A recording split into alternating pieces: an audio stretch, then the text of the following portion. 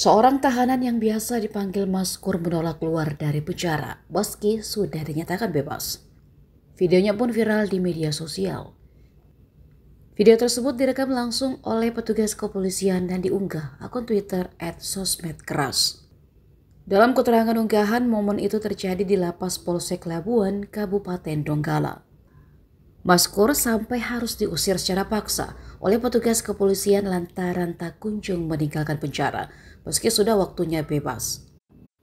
Terlihat dalam video awalnya dua orang petugas kepolisian menghampiri Maskur yang tertidur di dalam ruang sel tahanan. Petugas polisi yang merekam kemudian bertanya kepada Maskur alasannya tak mau keluar dari penjara.